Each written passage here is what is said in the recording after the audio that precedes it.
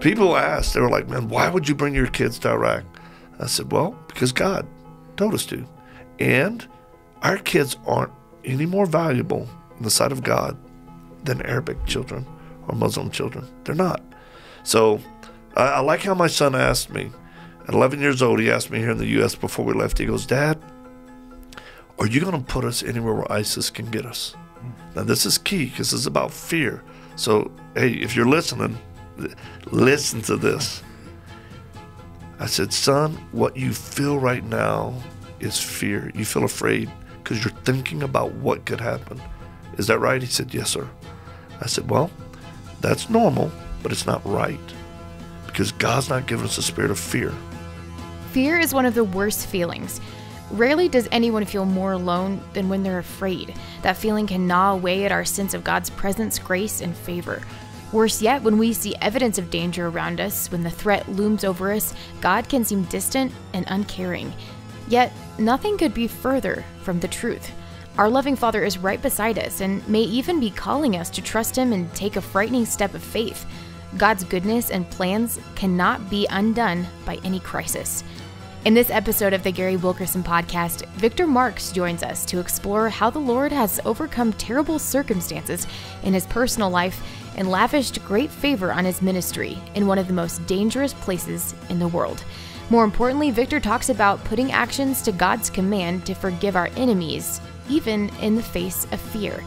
Now, here's our host, Bob Ditmer. Well, welcome to another uh, Gary Wilkerson podcast. And we are glad you're with us today because we have a very special program. We have a special guest, and we're going to be talking a lot about forgiveness and a lot of other things as well with Victor Marx, who is with All Things Possible Ministry. And Victor, your ministry is into a lot of different areas they could all be summed up with they're all dangerous. You know, man, what's wrong with you? what's wrong with you? Great opening question. What's wrong with you? Yeah. Welcome to the podcast. What's I think it's a low IQ issue right there. and a godly wife that puts her thumb on my back. Uh, you know, it's. Uh, we we really well we taught martial arts professionally, which inherently got me hit a lot. So I was used to uh, an aspect of risk. But then when God called us into ministry, of course we did a, a term and a season. We were colleagues mm-hmm. at Focus on the Family. And then uh, he called us to start All Things Possible, reaching youth and children who struggle, uh, troubled, or actually were incarcerated. So that was the beginning. And uh, we realized it, you know, God had that for us. So it was a big shift of going, wow, Lord, really? Uh, but looking back now, we're 15 years into it, and we just see His faithfulness mm-hmm. uh, to, if we're willing to just obey. That, danger area is you go into a lot of places that are very dangerous to rescue kids, to rescue women that are in very difficult places. Very unique ministry. Yeah, it's uh, you know, we, we don't like to be known as a rescue. We well, we rescue hearts. That mm-hmm. that's the most important things.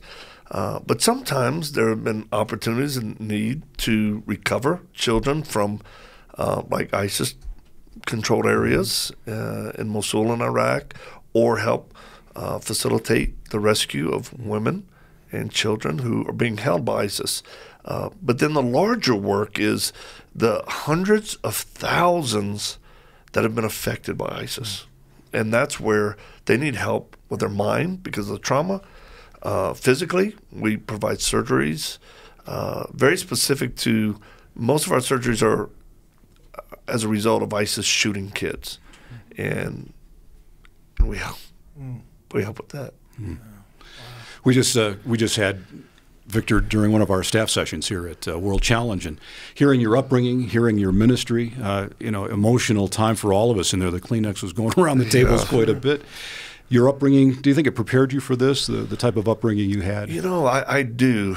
Coming from uh, the rejection of my dad, my biological dad, who didn't think I was his kid when my mom got pregnant and you know her marrying six times. He was a drug dealer and a pimp at a certain time in his life. Always feeling that void and lack. Uh, it caused great insecurity uh, in me as a child, and then having a stepfather who was very, very evil. That's the best way I can. Who you know I was abused sexually, physically, um, and tortured, uh, from electrocution to water dunking to. Stuff that was very systematic um, that he had been trained in. So uh, it resulted uh, in me having to have trauma cared for my mind. To put it in context, it was 123 visits in nine months uh, to try to get me stable, and it affected me my whole life. And now, you know, I love to say, "Oh, I'm 100 percent healed." Uh, what, what, I am, I'm, I'm, I'm really a trophy God's grace. Yeah. That daily, He gives me the grace to do what I do. Uh, uh, because I should be low functioning. And at times I struggle. At, at times, between fatigue and all that, I know my limitations. But His strength is made perfect in our weakness. And I've seen that again and again and again. Beautiful, powerful word, and that is uh, we see that all the time. Is not all the time. very rarely see anybody uh, come from what you've come from and be so healthy. Yeah. Uh, but but we see that, that that's a, that's a, a, sort of a common thread in what God the, you call them trophies of grace that, that that powerful work that God does. So you, you grew up in this, and how how'd you kind of what was the transition point in your life?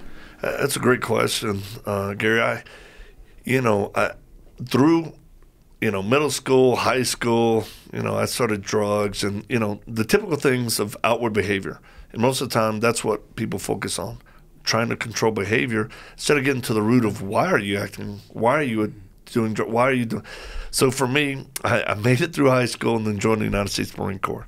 And that was great. I was like, oh, they gave me a place to stay, food to eat, and a gun. And I was like, all right, can I kill people? they're like, yeah, just the ones we tell you. But it, that was a that was a great place to stabilize me, direct my anger, build discipline skill sets, and and um, but it still didn't fill that void in my life. Mm-hmm. So I did everything I was supposed to do to be a man chase girls, which most of them were faster than me, uh, you, you know, shoot, fight, martial arts, Marine, drink, party. And yet, I didn't. The reality is, just using common sense, I knew girls who could do the same thing. Chase girls or guys, fight, you know, and outdrink me. So I thought, if that's the definition of a man, there's some girls out there, but better man than me. So I knew there was something in my soul that was missing. And even as a child, hearing scripture every now and then, or going to church, or you know, different things like that, it, it, it is true. It comes back. So um, it was through an amazing surprise of my biological dad writing me a letter. And we were estranged. I wasn't a fan of his. And he just said, I know you think I'm crazy. I'm like, yeah, because he'd spent time in a mental hospital, the same one his dad, my grandfather, died in. And he goes, uh, uh, basically, he apologized for not being a dad. And, and if I could tell men out there right now, because, you know, uh, kids without dads is, is an epidemic here in, mm. in our country. It's never too late to be a dad, no matter how much you've blown it. No matter, and then you don't even have to be a great dad; just be a dad. And and this man apologized to me in this letter, and I still have the letter. Mm. And he said, "I've never been there for you. I'm not good at being a dad. Maybe we can be friends." But he goes, uh, "I am crazy, but I'm crazy for Jesus Christ," mm-hmm. and that changed my life. And it was through him inviting me to go to a church, uh, kind of shaming me to go because he had a bunch of other guys going. They were all tough fighters. I was like, I was a Marine, like, I'll go. I ain't, I ain't scared of a church service. And man, I heard the gospel and the power of God's Spirit came on. And you know what it did to me? He convicted me of sin and just as powerful, let me know how much he loved me, which I could not wrap my mind around. I'm convicted of my sin, and I stopped blaming everybody else in my life for my problems. And I'm thinking, I, I know I'm a sinner because here's what here's what blew me away. I was raised with a mentality you never hit a man when he's down. You kick him. So I'm thinking, God, why are you telling me you love me? Jesus, I'm agreeing with you. I'm not a good guy in my heart. And I've broken every Ten Commandment. Mm. Every one. And I'm like, you love me? I, I couldn't fight his love. And that's when I surrendered my life to Christ. June 22nd, 1986. It was a day and time for me. Yeah. Wow. Yeah, I love that. Yeah. yeah. Well, as, uh, as you then transition military, and yep. then you come out of the military, you become a Christian. Yep. And then martial arts plays a big role in, in what shaped you as well moving into ministry. How did that play in? It did. You know, it's uh, uh, before I gave my life to Christ, martial arts was my God. If there was one thing, I was actually in college, and I remember uh, a professor asked me, "What's the top ten things, or you know, are most important to you?" And I remember putting my family first, martial arts second, and then I wrote, "Well, God." And that started a real conundrum in my mind. I was thinking, "Oh, I know the Ten Commandments say He's got to be first. but when I got saved, the Lord actually broke me of some of my physical skill sets. Um, uh, I, I actually tore my hamstring out of my hip, and I was a kicker. And I've had nine and a half hours of surgery, lost 40% of my hamstring, which ended my kicking career, my competitive career. And and I didn't actually didn't want anything to do with martial arts after that. I was like, I'm done. I can't. And the Lord said, No, you're not done. You're just broken and ready to be used by me the way I want to. Mm. As a result, guess what? My hand speed got better, and then I end up holding a world record for a hand speed of disarming someone with a pistol. Well, I'm glad you brought that up because we're going to watch you do that on the screen here so we oh, can cool. take a look at it. For, those, for those of our, our folks that are watching on video, you're going to be able to see it. We'll describe it on radio a little bit later on the okay. podcast, but let's take a look at this. Wow. That's actually a CHP officer, a good friend of mine. so, and you didn't break his arm. How'd you keep from doing that? Yeah, it's uh, we have to cheat it a bit so we don't hurt people when we do it. Then the time you can time that. Yeah, it's it's been timed at zero uh, 0.8 tenths of a second. Yeah, that, that's I can't I can't even put my mind around how quick that is. Just like it's like fractions well, of a millisecond, right? And you know what? I've been able to uh, use that like in the middle of no. Someone just posted a, a camera video of me outside of Mosul, Iraq, doing the fighting, where a soldier pulls a pistol on me and I disarm him. and they're like jumping up for joy. They can't believe I did it. And uh, so the Lord, that's almost my calling card. Yeah. There's over 100 million views of wow. that. Wow in every form and fashion. And if people so, want to see that online themselves, so they want to check that out, they have Victor Marx website or just YouTube. Well, or? Uh, yeah, YouTube, Facebook. Just just okay. Google "world's fastest gun disarm man." so uh, like the old west, world's yeah. fastest gun man. So looking back, I, I I thank God that even though I thought what was horrible, ended up turning out to be great. Mm. A couple of stories I'd like to hear you tell us again from what we heard in our staff meeting this morning. Uh, one was the girl that was that was rescued in Mosul, I believe yep, it was. Mosul. A lot of people saw it on TV. It was all over the news yep. of this of this rescue of this girl. Tell us that story. Uh, uh, so there was a little girl and her mother were trying to flee Mosul uh, uh when the Iraqi army and coalition forces were liberating it. Right. So uh, uh, our teams were part of some of that, and then our associate teams were Dave Eubank, FBR uh, really an integral part of that. Spent spent months in the field and on the front. So uh, what what we saw happen is uh, just like the listener right now. Just think of your neighborhood. You know, uh, if it was overcome by ISIS fighters and controlled, you would want somebody to come and get you free. So while fighting was going, there was a time where people would start running out. Well, ISIS fighters would shoot them, and um, and this little girl, five years old, and her mother were running, and the mother was eight months pregnant, and ISIS shot and killed her, and she collapsed, and the little girl laid right next to her mother, and then hid underneath her dress, because she saw people being shot everywhere, and uh, my buddy and colleague Dave, you know, he's seeing this, and they're at a distance where he can't reach them, and Dave's a former SF guy uh, leads a great ministry of high risk work and and um, humanitarian work, and it, it, they're just dying. He's, he's, contacting me saying, "Man, pray, pray. There's a girl I can see," hmm. and there were other kids, and other kids moved and were killed. So there are bodies everywhere. He puts together a plan. Uh, General Mustafa from the 36th Brigade, 9th Division, Armored Division, right, says, "Hey, take a tank for cover." So they move the tank in a position coalition forces drop smoke, and Dave and a three man team uh, go behind the tank, and then Dave, under fire, flies out running fast he can to grab this little girl. He grabs her, picks her up, runs back, and then when they exfil, they're moving back probably about 150 yards. Uh, one of his three person team members gets shot in the calf. He's a former SEAL. Mm-hmm. Um, and they made it. But the little girl was so traumatized, we found out she was there probably three days. And she would only crawl out from her mother's dress on the ground to find bottles of water because uh, people you have to run with water because of summer. And uh, so we took her in. That mm-hmm. that's that's the center of what we do, helping kids or women who've been traumatized. We took her into our home. My wife and kids were there in Iraq, and um, we provided medical care, emotional care, physical. But she she couldn't talk. You couldn't touch her. Uh, it was she had a swollen uh, stomach. It was just it was heartbreaking, and I remember my daughter, 13 years old, asking me, "Dad, do you think she'll ever talk again?" I said, "I don't know," because we we shoot it straight to our kids. You know, sometimes it's better just. And she goes, I said, I don't know, babe. We just got to pray and we'll do our best.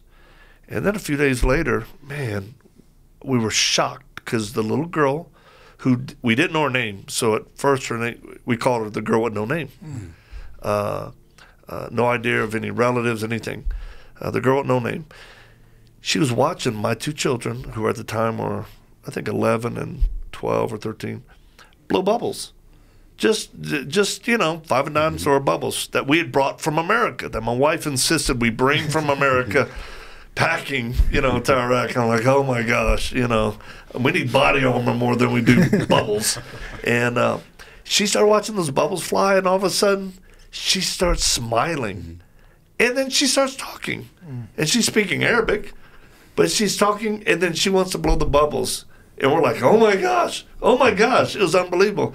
And it was through my children that this little girl came out of her shell, out of this very, very traumatic state almost semi-comatose the way you you know you can't touch her, she couldn't talk.